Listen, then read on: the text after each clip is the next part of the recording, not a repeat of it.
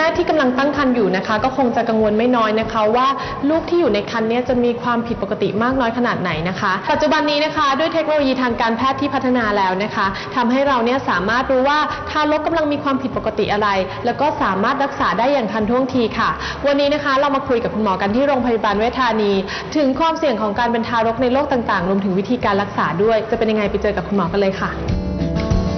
ช่วงร้อยแปดสุขภาพ 37 องศา ค่ะแล้วตอนนี้นะคะวุ้นก็อยู่กับนายแพทย์ภูมิพรอัชรารัตนโสพลนะคะ ซึ่งเป็นสูตินรีเวชศาสตร์มารดาและทารกในครรภ์ค่ะ สวัสดีค่ะ สวัสดีครับ ค่ะถามคุณหมอเลยนะคะว่าในครับขณะที่ทารกอยู่ในครรภ์เนี่ยนะครัคะ บผม ตัวทารกเองเนี่ยมีสิทธิ์ที่จะเกิดความผิดปกติได้ไหมคะ ครับผมสำหรับทารกที่อยู่ในครรภ์นะครับ เราพบว่าจริง ๆ แล้วก็ไม่ต่างกับผู้ใหญ่ มีหลาย ๆ โรคครับที่เขาป่วยแล้วก็ไม่สบาย แล้วก็ผิดปกติตั้งแต่ในท้อง ซึ่งอืมบางโรค บางโรคเราก็สามารถตรวจวินิจฉัยเขาได้ ค่ะ แต่ก็ยังมีอีกหลายโรคเหมือนกันครับที่ เทคโนโลยีทางการแพทย์ในปัจจุบันก็ยังสืบหาค้นหาไม่ได้ค่ะทีนี้ในในโรคที่เราตรวจพบได้เนี่ยเราก็พบว่าเราสามารถดูแลรักษาเขาได้เช่นกัน ค่ะ โรคที่สามารถเกิดขึ้นได้ในขณะที่ทารกอยู่ในครรภ์เนี่ยมีโรคอะไรบ้างคะ โรคปากแหว่งอืมเราสามารถตรวจวินิจฉัยได้ตั้งแต่ระยะเด็กที่สามารถสร้างใบหน้าโดยสมบูรณ์ค่ะ แต่เราก็ไม่สามารถไปผ่าตัดรักษาได้อืมบางโรคเราสามารถตรวจวินิจฉัยได้ แล้วก็สามารถดูแลรักษาเขาได้ตั้งแต่ในครรภ์ครับการทำอัลตราซาวด์เป็นเหมือนสายตาของคุณหมอสูครับที่สามารถดูได้ว่าทารกมีความผิดปกติอะไรบ้าง แล้วก็อืมแสดงอะไรเราให้ให้เราเห็นได้บ้างค่ะ แล้วอย่างนี้ทางการแพทย์สามารถรักษาได้เลยหรือเปล่าคะทางการแพทย์เราพบว่ามีบางโรคเท่านั้นที่มีการรักษาได้ แล้วก็การรักษาทารกในครรภ์จริง ๆ แล้วเนี่ยบางโรคเราแค่เป็นการบรรเทาความทุพพลภาพของทารกในครรภ์อืมบางโรค เราคิดว่าถ้าปล่อยให้เขามีผลสืบเนื่องตั้งแต่ในครรภ์จนถึงก่อนคลอด เด็กบางคนอาจจะเสียชีวิตในครรภ์ครับอืมบางคนก็อาจจะออกมาทุพพลภาพค่อนข้างสูง มีเด็กบางคนที่เขาเป็นลักษณะเลือดโรคเลือดบางชนิดที่ค่ะทำให้เกิด เม็ดเลือดแดงเขามีการถูกทำลายนะครับอืมแล้วก็พบว่าเด็กก็ซีดซีดจนเสียชีวิตอืมทีนี้ในต่างประเทศก็จะมีการ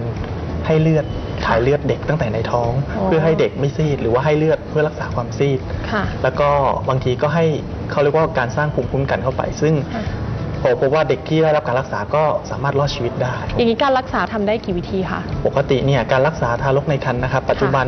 ถ้าจะแบ่งคร่าวๆ ก็มีอยู่ประมาณคร่าวๆอยู่ 4 วิธีครับก็เหมือนผู้ใหญ่เลย คือการรักษาด้วยยาค่ะนะครับเราสามารถใช้ยาในการรักษาทารกได้ ค่ะ ทีนี้ส่วนที่ 2 การรักษาอาจจะเคยได้ยินบ้างคือการใช้สเต็มเซลล์ค่ะหรือการใช้ยินในการรักษายินอืมบำบัด ค่ะพวกนี้เราก็พบว่ารักษาได้แค่บางโรคเหมือนกันค่ะแล้วก็บางโรคที่รักษาเนี่ย ในปัจจุบันเอ่อความสำเร็จพบว่ายังไม่ค่อยสูงมาก ฉะนั้นบางโรคเรายังต้องติดตามครับ เพราะว่าบางบางอย่างในการใช้สเต็มเซลล์รักษาเราพบว่ายังอยู่ในขั้นวิจัยค่ะหลายคนคิดว่าการผ่าตัดอย่างที่หมอกล่าวไปเบื้องต้นคือการผ่าตัดจริง ๆ อาจจะต้องรอลูกเราคลอดออกมาอืมแต่มีหลายโรคเนี่ยเรารอจนเขาคลอดไม่ได้ การผ่าตัดรักษาเบื้องต้นจะสามารถ